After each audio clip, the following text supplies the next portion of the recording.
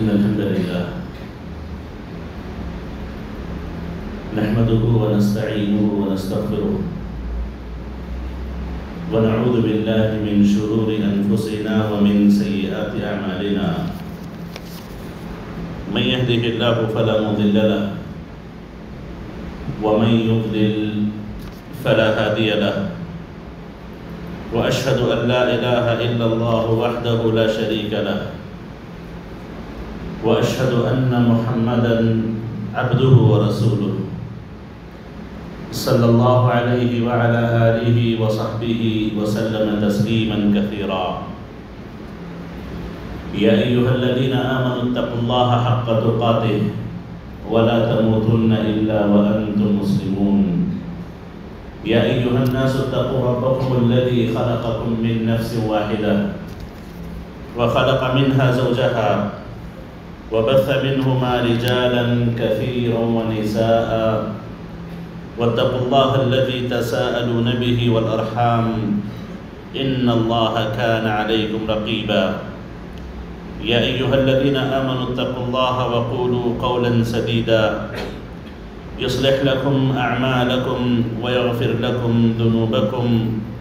ومن يطع الله ورسوله فقد فاز فوزا عظيما.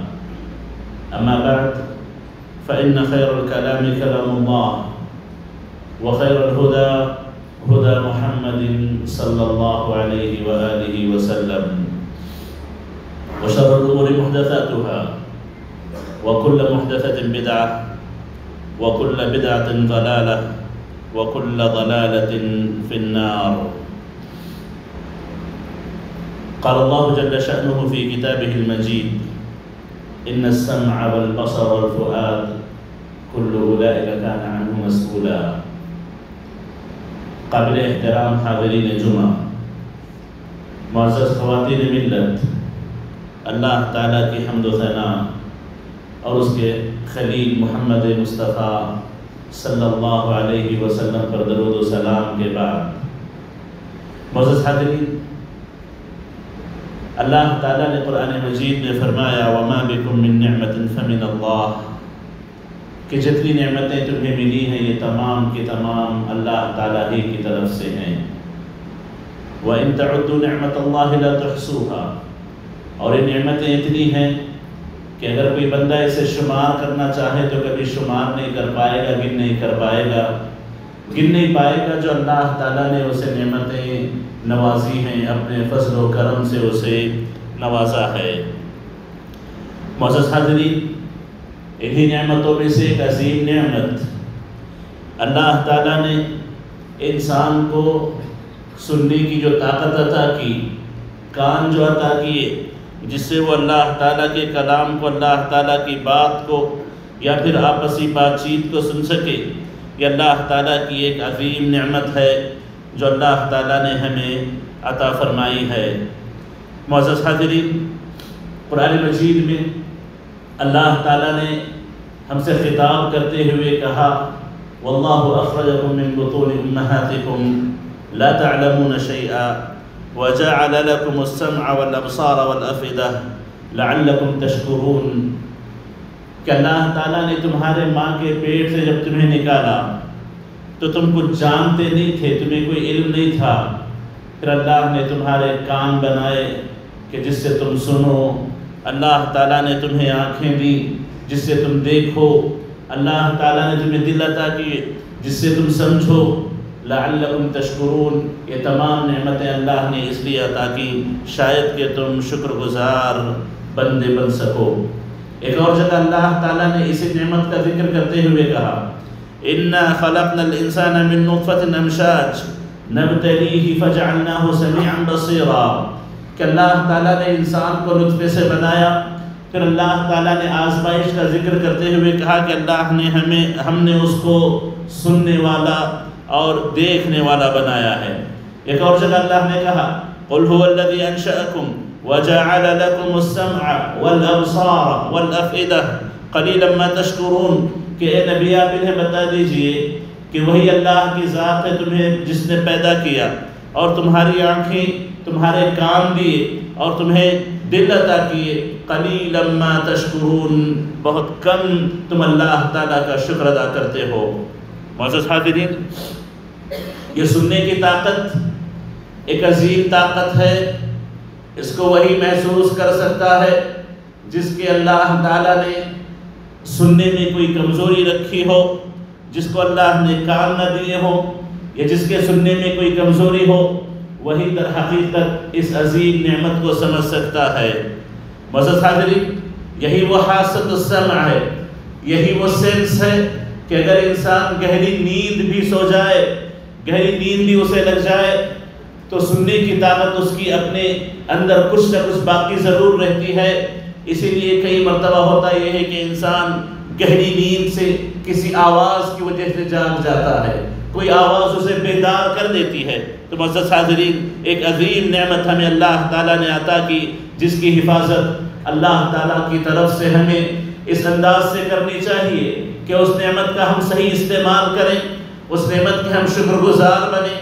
معزز حاضرین قرآن مجید میں اللہ تعالیٰ نے فرمایا، ثم لتسألن يومئذ عن النعیم، کہ تم کو تمام نعمتوں کے تعلق سے اللہ کے پاس سوال کیا جائے گا۔ ابن عباس رضی اللہ تعالیٰ عنہ کہتے ہیں، ابن عباس فرماتے ہیں کہ یہ نعمتیں آپ کے بدن کی تندرستی، آپ کے کان، آپ کی آنکھ، اور اسی طریقے سے آپ کی سوچ و سمجھ، آپ کے دل، یہ نعمتیں ہیں۔ جس کے تعلق سے اللہ تعالیٰ کے نزدیک تمہیں جواب دینا پڑے گا۔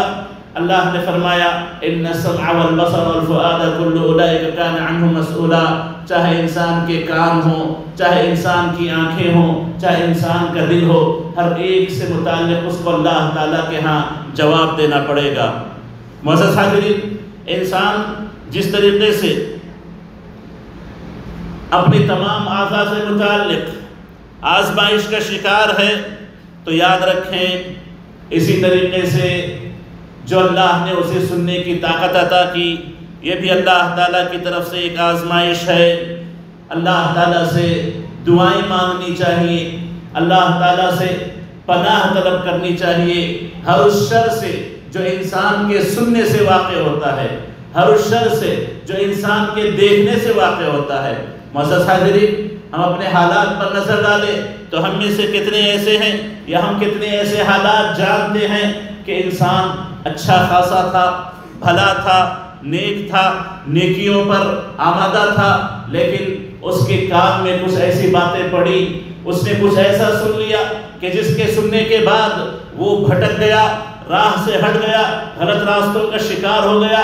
کبھی دوست کی باتوں کی شکل میں، کبھی بیوی بچوں کی باتوں کی شکل میں، کبھی ملنے جلنے والے باتوں کی شکل میں یا کبھی اس کے حاسدین اس کو کچھ ایسی باتیں سنا دے کہ جس کے نتیجے میں وہ حاسدین کی باتوں کا شکار ہو کر کے اللہ تعالیٰ کے شکر گزار بندوں سے نکل کر کے اللہ کے نافربان بندوں میں شمار ہو گیا۔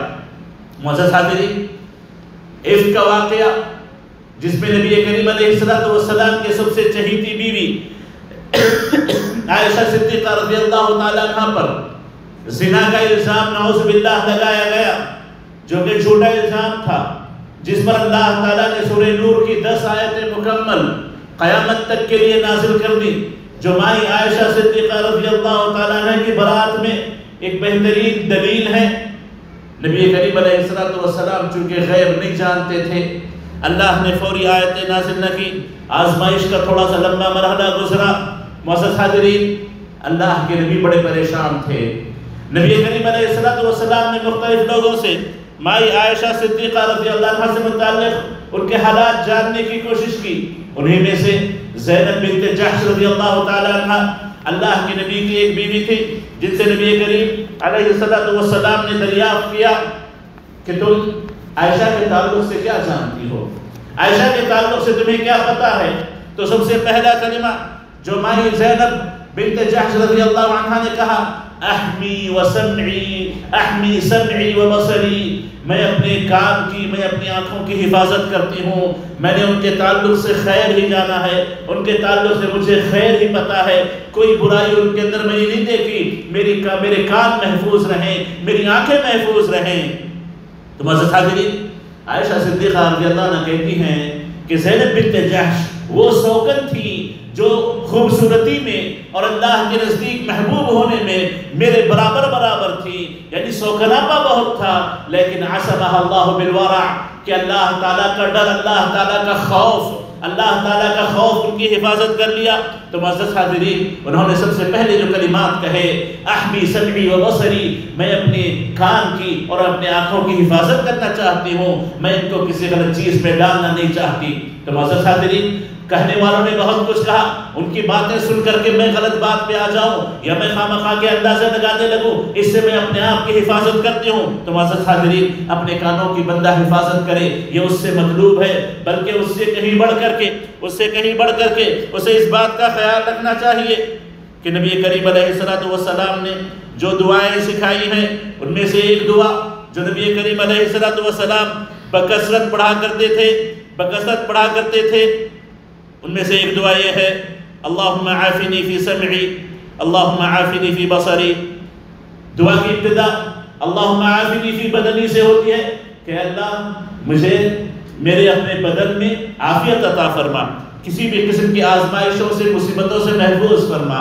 بدن میں تمام چیزیں آ جاتی ہیں، اس میں کان بھی آتے ہیں، اس میں آنکھیں بھی آتی ہیں، اس میں بدن کے تمام آزا آ جاتے ہیں۔ لیکن اس کے باوجود نبی کریم علیہ السلام اللہم عافنی فی بدنی کے بعد، اللہم عافنی فی سمعی، اللہم عافنی فی بصری۔ اے اللہ، میرے کانوں کی حفاظت فرما۔ اے اللہ، میری آنکھوں کی حفاظت فرما۔ لا الہ الا تیرے علاوہ حقیقت میں کوئی عبادت کے لائق ذات نہیں ہے۔ یہ نبی کریم علیہ السلام کی دعا ہوا کرتی تھی۔ جو اللہ کے نبی ہمیشہ مانگا کرتے تھے، تو معزز حاضرین، ہمیں اللہ تعالیٰ سے اپنے کانوں کی حفاظت طلب کرنی چاہیے۔ ہمیں اللہ تعالیٰ سے اپنے آنکھوں کی حفاظت طلب کرنی چاہیے، ورنہ ہم آزمائش کا شکار ہیں۔ شیطان کا شر، ملنے جلنے والوں کے مکر یا کسی بھی قسم کا مکر ہمیں گمراہ کر سکتا ہے۔ اور ہم جانتے ہیں، ہم جانتے ہیں کہ ہمارے اپنے معاشرے میں کتنے ایسے لوگ ہیں جو اپنے کام کے کچے ہیں، ہر ایک کی بات سن لیتے ہیں، ہر ایک کی بات پر اعتبار کر لیتے ہیں، جس کی وجہ سے بہت سی مصیبتوں کا وہ شکار ہو جاتے ہیں۔ نہ وہ اپنے گھر پہ اچھے رہ پاتے، نہ اپنے تعلقات کو بہتر کر پاتے، نہ اپنے تعلقات کو باقی رکھ پاتے۔ تو معزز حاضرین، کام کی حفاظت، یہ اپنی دین کی حفاظت، اپنی دنیا کی حفاظت، اپنی آخرت کی حفاظت ہے۔ اور معزز حاضرین، نبی کریم علیہ السلام کی دعاؤں میں یہ بھی دعا تھی، اللہم متعنا باسماعنا وابصارنا وقواتنا ما احیتنا. کہ اللہ، جب تک تو ہمیں زندہ رکھے، جب تک تو ہمیں زندہ رکھے، ہمارے اپنے کان، ہمارے اپنی آنکھیں، ہمارے اپنی قوتوں کو طاقت بخش انہیں اور صحیح سالم رکھ اور ان کے صحیح استعمال کا ہمیں موقع عطا فرما۔ اس کو ہمارے لیے مفید بنا۔ یہ نبی کریم علیہ السلام کی دعا ہوا کرتی تھی۔ تو معزز حاضرین، ہمیں اللہ تعالیٰ سے دعا کرتے رہنا چاہیے کہ اللہ تعالیٰ ہمارے کانوں کی حفاظت فرمائے، ہمارے کانوں میں کوئی غلط چیز نہ پڑے۔ اور معزز حاضرین، عام طور پر انسان جو چیزیں سنتا ہے، جو چیزیں سنی جاتی ہیں، وہ تین قسم کی ہوتی ہیں۔ ایک وہ چیزیں جو انسان سنتا ہے اور ان چیزوں کا سننا اللہ کو پسند ہے، اللہ تعالیٰ چاہتا ہے کہ بندہ ان چیزوں کو سنے۔ جیسے اللہ تعالیٰ اس بات کو پسند کرتا ہے کہ اللہ کا کلام سنا جائے، اللہ کے کلام کو سنا جائے، اللہ کے ذکر کو سنا جائے۔ اللہ کی تسبیح و تکبیر کو سنا جائے، اچھی باتیں سنی جائیں، تلاوت سنی جائے، یہ اللہ تعالیٰ کو پسند ہے۔ بھلی باتیں ہوں، جو کسی انسان کو خوش کر دے سکتی ہوں، یہ باتیں بڑی پسندیدہ ہیں شریعت میں۔ یہ باتیں بڑی پسندیدہ ہیں شریعت میں۔ یا کسی طریقے سے کوئی انسان کسی کو خوش کر دے، جائز طریقے سے سچ کا استعمال کرتے ہوئے، حقیقت پر رہتے ہوئے، یہ تمام چیزیں شریعت کی نظر میں بڑی محمود ہیں۔ یہ وہ ایک چیز ہے جس کو اللہ تعالیٰ سننا پسند کرتے ہیں۔ اس کو اللہ تعالیٰ سننا پسند کرتے ہیں، اللہ تعالیٰ جس کو سننا پسند کرے، بندہ ان چیزوں کو سننے کی کوشش کرے، وہ چیزیں اپنے کانوں میں جانے دے۔ اور دوسری چیز جو عام طور پر انسان سنتے ہیں، حرام چیزیں، جس کے سننے کو اللہ ناپسند کرتے ہیں۔ اللہ کو سخت ناپسند ہے کہ حرام چیزیں سنی جائیں، گانے سنے جائیں، تہمتیں سنی جائیں، غیبتیں سنی جائیں، اللہ کے خلاف باتیں سنی جائیں، اللہ کے دین کا مذاق اڑایا جاتا ہوا سنایا جائے۔ اللہ تعالیٰ کی آیتوں کا مذاق اڑاتا ہوا کوئی بندہ سنے، اللہ تعالیٰ کے دین کا، اللہ کے شاعر کا مذاق اڑایا جائے، اس کو بندہ سنے۔ یہ تمام چیزیں اللہ تعالیٰ کو سخت ناپسند ہیں کہ ان کو بندہ سننے لگے، ان کو بندہ سننے لگے۔ اس سے تمام بندے اپنے کانوں کو محفوظ رکھیں۔ ابن عمر رضی اللہ عنہ سے متعلق آتا ہے کہ وہ اپنے کسی سفر پہ جا رہے تھے، کہیں سے موسیقی کی آواز سنائی دی، دونوں انگلیاں اپنے کانوں میں ڈال لی تیزی سے چلنے لگے اور اپنے ساتھ جو غلام تھا اسے کچھ دور چلنے کے بعد پوچھنے لگے، کیا کہ وہ مسجد کی آواز بند ہو گئی؟ کیا وہ موسیقی کی آواز بند ہو گئی تو معزز حاضرین، جب انہیں بتایا گیا کہ ہاں اب بند ہو گئی، تب انہوں نے اپنی انگلیاں اپنے کانوں سے نکالی۔ انگلیاں اپنے کانوں سے نکالی تاکہ حرام چیز، غلط چیز ان کے کانوں میں نہ پڑے۔ تو معزز حاضرین، حرام چیزوں کے سننے سے اپنے کانوں کی حفاظت کرنی چاہیے۔ ایک یہ ہوتا ہے کہ آپ خود سے کوئی چیز آن کر کے، کوئی چیز لگا کر کے سنیں، کوئی چیز جا کر کے سنیں قصدن سنیں۔ ایک یہ ہوتا ہے کہ آپ کہیں چل رہے ہوں، آپ کہیں ہوں، کوئی آواز آپ کے کان میں پڑے۔ پڑے آپ کے کان میں بات بغیر آپ کے قصد کے کوئی آواز داخل ہو جائے، ان تمام سے پرہیز کرنا چاہیے، ان تمام سے بچنے کی کوشش کرنی چاہیے۔ یقیناً جو جان بوجھ کے برا سنے، اس کی برائی بڑی ہے، اور جس کے کان میں برائی پڑ جائے، وہ اس سے احتراز نہ کر کے ایسے ہی سنتے بیٹھے، اس کی برائی بھی بڑی ہے۔ ان دونوں سے انسان کو پرہیز کرنا چاہیے۔ اور تیسری چیز جو انسان سنتا ہے، وہ یہ ہے کہ جو مباح چیزیں ہیں، کسی کی بات آپ سنیں، جس کی بات سننا آپ کے لیے جائز ہو، اس میں کوئی حرج کی بات نہیں ہے۔ آپس میں بات چیت کرنا، کسی کی بات سن لینا، یا پھر اسی طریقے سے کوئی بھی جائز چیزیں سن لینا، یہ تیسری قسم ہے جو عام طور پہ سنتا ہے تو معزز حاضرین ان تینوں میں انسان اللہ کو پسندیدہ چیزوں کے سننے کی کوشش کرے، اس کا اہتمام کرے، حرام چیزوں سے اپنے کان کی حفاظت کرے، حرام چیزوں سے اپنے کان کی حفاظت کرے اور مباح چیزوں میں بہت زیادہ داخل نہ ہو، بہت زیادہ داخل نہ ہو، کیونکہ مباح کی کثرت، مباح کی کثرت انسان کو غافل کر سکتی ہے، انسان کو اس کے مقصد سے دور کر سکتی ہے۔ تو معزز حضرین اللہ کی اس عظیم نعمت کام اس کی حفاظت کرے، کیونکہ اس کا بھی اللہ کو جواب دینا پڑے گا۔ اس کا بھی اللہ کو جواب دینا پڑے گا۔ اللہ تعالیٰ سے دعا ہے کہ اللہ تعالیٰ ہمیں اس عظیم نعمت کے شکر گزاری کی توفیق نصیب فرمائے۔ آمین۔ اقول قولي هذا واستغفر الله لي ولكم ولسائر المسلمين من كل ذنب فاستغفروه انه هو الغفور الرحيم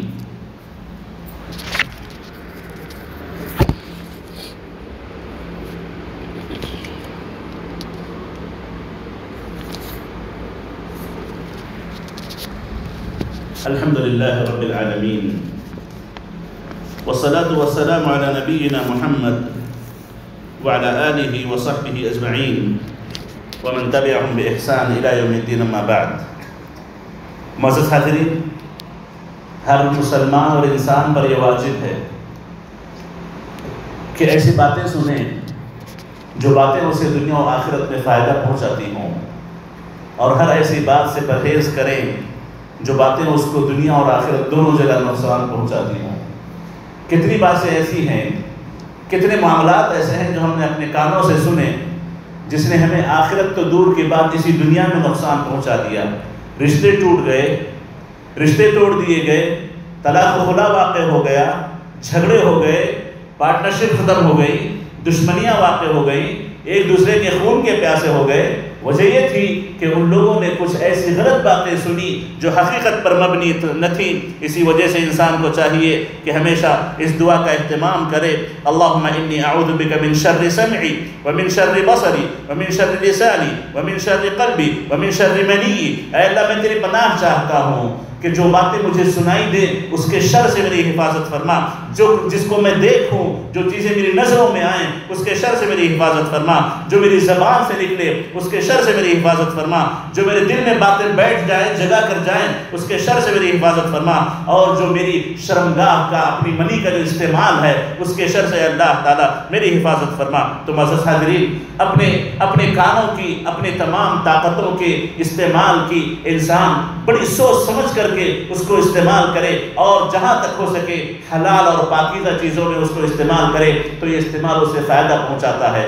معزز حاضرین، نبی کریم علیہ السلام والسلام نے فرمایا، انسان من استمع الى حدیث قوم وهم له كارهون او يفرون منه صب في اذنه الانف يوم القيامه کہ جو آدمی کسی ایسے آدمی کی بات سنتا ہے، ایسے لوگوں کی بات سننے کی کوشش کرتا ہے، جو لوگ اسے سنانا نہیں چاہتے۔ نہیں چاہتے کہ وہ سنیں کان لگا کے سنتا ہے۔ وہ اس سے بھاگتے ہیں۔ پھر بھی ان سے معلومات حاصل کرتا ہے۔ جاسوسی کی شکل میں یا کسی بھی شکل میں اللہ کے لیے فرماتے ہیں کہ قیامت کے دن اس کے کانوں میں سیس کو پگھلا کر کے ڈالا جائے گا۔ عذاب کے طور پر اس کے کانوں کو سزا دی جائے گی، سیس پگھلا کر کے ڈالا جائے گا۔ تو مزد حاضرین، اپنے کانوں کی حفاظت کریں۔ وہی کان ہوں گے جو قیامت کے دن اللہ تعالیٰ کے نزدیک گواہی دیں گے۔ زبان نہ بولے نہ بولے کان بولیں گے کہ ان لوگوں نے کیا غلط باتیں سنی، کیا کیا غلط ان کا استعمال کیا گیا۔ آخر میں ایک بات اپنے ذہن میں رکھیں۔ مزد حاضرین، جب انسان اچھی باتوں کے سننے کا عادی ہو، اللہ کے کلام کو سنے، بھلی باتیں سنیں اللہ کے ذکر کو سنیں، اللہ کی بڑائی کو سنیں۔ اللہ نے جو یہ مخلوقات پیدا کی ہیں، اس کے تعلق سے جو بھلی باتیں ہو سکتی ہیں، ان کو سنیں۔ تو خیر کی بات سننے والا، اللہ کے فضل و کرم سے، اللہ کی توفیق سے خیر کی طرف آمادہ ہوتا ہے، بھلائی کی طرف آمادہ ہوتا ہے۔ اس کے مقابلے گانے بجانے سننے والا غلط قسم کی باتیں سننے والا، جھوٹ و بہتان سننے والا غلط قسم کی باتوں میں ہمیشہ رہنے والا، ہمیشہ اپنے کانوں کو حرام چیزوں میں لگانے والا، ایسے لوگوں سے بڑی کم توقع کی جاتی ہے کہ ایسے لوگ نیکیوں کے کاموں کی طرف آگے بڑھیں، ایسے لوگوں سے نیکیاں واقع ہوں، ایسے لوگ بھلائی کے کام کریں۔ تو معزز حاضرین اپنے کانوں کو اچھی بات سننے کی عادت ڈالیں، اپنے کانوں کو صحیح جگہ استعمال کریں، اپنے کانوں کو حلال طریقے پہ استعمال کریں، اس کا اثر آپ کی زندگی پر پڑے گا، آپ کے اعمال پر پڑے گا، آپ کی سوچ پر پڑے گا، آپ کے دن و رات پر پڑے گا، آپ کی زندگی بابرکت ہوگی، آخرت آپ کی کامیاب ہوگی اور اس کے بجائے آپ حرام چیزوں کو سننے لگیں گے، حرام چیزوں کی عادت ڈالیں گے، حلال حرام کی پرواہ کیے بغیر ہر چیز آپ سننے لگیں گے، گانے بجانے آپ کی زندگی کا اللہ محفوظ رکھے، ایک مشغلہ بن جائے، موسیقی آپ کی زندگی کا مشغلہ بن جائے، کبھی موبائل بجے، کبھی ٹی وی بجے، کبھی گھر کی بیل بجے، مختلف قسم کی موسیقیوں کی سننے کی عادت انسان کو اگر پڑ جائے تو یاد رکھیں، ایسے لوگ خیر سے محروم ہو جاتے ہیں، ایسے لوگوں کو خیر کی توفیق نہیں ہوتی، ایسے لوگ اپنی دنیا کو بھی برباد کرتے ہیں، آخرت بھی ان کی برباد ہوتی ہے، ان سے خیر کے کام بڑے کم واقع ہوتے ہیں۔ تو مسجد حاضرین اپنے آپ کی حفاظت کرنے کی کوشش کریں، اپنے کانوں کی حفاظت کریں۔ کانوں کی حفاظت سے اللہ تعالیٰ بندے کے دین کی حفاظت کرتا ہے، بندے کی دنیا کی حفاظت کرتا ہے۔ اور یہی وہ کام ہیں، یہی وہ کام ہیں جس کے غلط استعمال کی بنیاد پر کتنے فتنے اس دنیا میں واقع ہوئے ہیں، کتنے لڑائی جھگڑے اس دنیا میں واقع ہوئے ہیں اور کتنے غلط باتیں سننے کی وجہ سے انسان اپنے دین کو برباد کر لیتا ہے۔ کسی سے بدعت کی بات سن لی، بدعت کا گرویدہ ہو گیا کسی کی تقریر جو سنتوں پر اللہ کے قرآن کی اللہ کی کتاب پر نہ تھی، بلکہ مختلف قصے، کہانیوں کے شکل پر تھی، تو ان کی سنتیں اس نے لے لی ان کی سنتیں اس نے لے لی وہ تقریریں اس نے سن لی جس کے نتیجے میں سنت سے بھٹک گیا، صحیح راستے سے بھٹک گیا۔ تو معزز حاضرین بدعتوں کے سننے سے، دین کے نام پر غلط باتوں کے سننے سے پرہیز کرنا چاہیے۔ غلط باتوں کے سننے سے پرہیز کرنا چاہیے۔ امام احمد کے پاس ایک آدمی آتا ہے بدعتی شخص ہے، کچھ کہنا چاہتا ہے۔ ہے، کہتے ہیں کہ نہیں، میں تمہاری کوئی بات نہیں سنوں گا۔ کہتا ہے کہ میں قرآن کی ایک آیت پڑھوں گا سن لو کہتے ہیں کہ نہیں، میں تمہارے قرآن، تمہارے زبان سے قرآن کی ایک آیت بھی نہیں سننا چاہتا۔ اپنے کانوں میں انگلیاں ڈالتے ہیں۔ کہتے ہیں کہ یا تو تم یہاں سے نکل جاؤ، یا تو میں یہاں سے نکل جاؤں گا۔ تاکہ ان کے کان محفوظ رہیں۔ ان سے پوچھا گیا، ان سے کہا گیا، آپ ایک بات سن لیتے تو کیا کیا کیا مشکل آ جاتی؟ کیا مصیبت پیش آتی؟ کہنے لگے، ہو سکتا ہے کوئی بات کہہ دے، وہ بات میرے دل میں بیٹھ جائے، جس کی وجہ سے میرے اندر بگاڑ پیدا ہو جائے۔ تو معزز حاضرین ہم نے اپنے کانوں کو دین کے نام پر آزاد کر دیا۔ ہر ایک کو سن لیتے ہیں، ہر ایک کی تقریر سن لیتے ہیں۔ ہر ایک کی نصیحت سن لیتے ہیں۔ ایسے نہیں ہونا چاہیے، بلکہ جو اہل سنت اہل سنت و والجماع ہوں، جن کا منہج صحیح ہو، جن کی بات قرآن و سنت پر مبنی ہو، منہج سلف کی بنیاد پر ہو، ان کی باتیں سنے آپ کا دین محفوظ رہے گا۔ ورنہ ہر اہل غیرے کی بات سننے سے دین خطرے میں پڑ جاتا ہے۔ دین خطرے میں پڑ جاتا ہے۔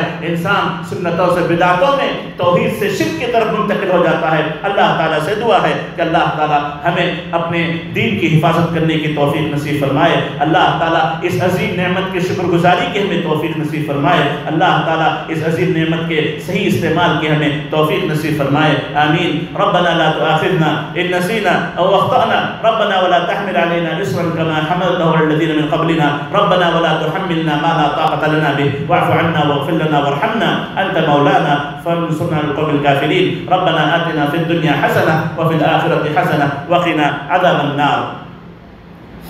ان الله وما لا النبي. يا أيها الذين آمنوا صلوا عليه وسلموا تسليما. اللهم صل على محمد وعلى آل محمد كما صليت على إبراهيم وعلى آل إبراهيم إنك حميد مجيد. اللهم بارك على محمد وعلى آل محمد كما باركت على إبراهيم وعلى آل إبراهيم إنك حميد مجيد. وارض اللهم عن الخلفاء الأربعة أبي بكر وعمر وعثمان وعلي وعن الصحابة أجمعين. وعنا معهم بعفوك وكرمك يا أكرم الأكرمين. إن الله يأمر بالعدل والإحسان وإيتاء ذي القربى وينهى عن الفحشاء والمنكر والبغي يعظكم لعلكم تذكرون. اذكروا الله يذكركم واشكروه على نعمه يزدكم ولذكر الله أكبر. والله يعلم ما تصنعون.